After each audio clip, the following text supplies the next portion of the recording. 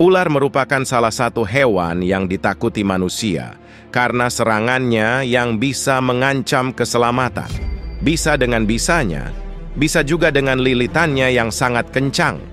Meski begitu, saat bertemu seekor ular, biasanya orang malah tertarik untuk menangkapnya.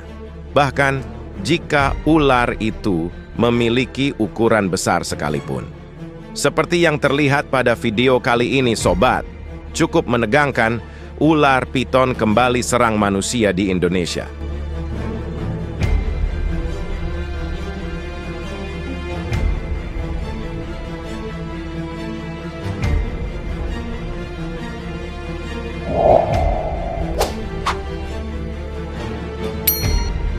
Pria bernama Ahmad berusia 40 tahun di Kabupaten Polewali, Mandar, Polman, nyaris tiada usai diserang ular piton sepanjang 7 meter. Peristiwa itu terjadi saat Ahmad membersihkan rumput di kebunnya. Peristiwa itu terjadi di Dusun Ratelanu, Desa Alu, Kecamatan Alu, Sabtu, 10 Agustus 2024, sekitar pukul 10 pagi. Seorang warga Rahman saksi mata ular piton, Lilit Ahmad mengatakan, Korban berteriak meminta tolong saat dililit ular piton tersebut. Warga yang datang langsung menebas ekor ular piton. Setelah ekor ular piton ditebas, lilitan di tubuh Ahmad akhirnya terlepas. Warga selanjutnya menebas ular piton tersebut di bagian kepala hingga putus.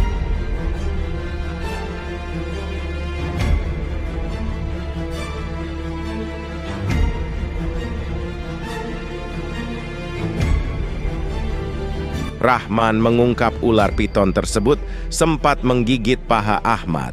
Beruntung, warga segera datang dan menyelamatkan Ahmad dari terkaman ular piton 7 meter itu. Sementara warga bernama Najamuddin mengatakan Ahmad sempat dievakuasi ke puskesmas untuk mendapat pertolongan. Kini Ahmad telah berada di rumahnya dengan keadaan baik-baik saja.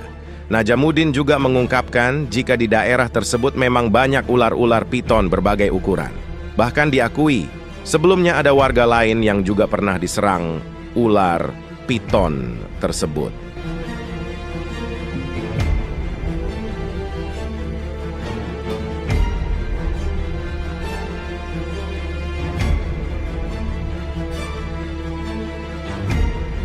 Berbagai kasus ular piton serang manusia masih terus ada. Bahkan saat ini yang paling mengerikan menurut warga adalah ular piton raksasa. Kekuatan lilitan ular ini begitu besar dan kuat hingga mengalahkan kekuatan otot manusia untuk melawannya.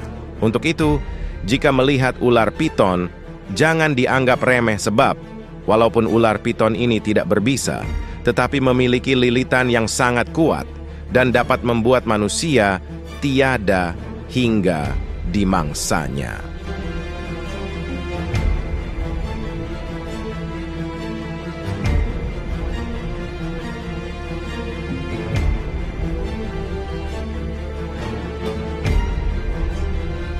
Nah, sobat, bagaimana menurut kalian tentang ular piton serang manusia ini?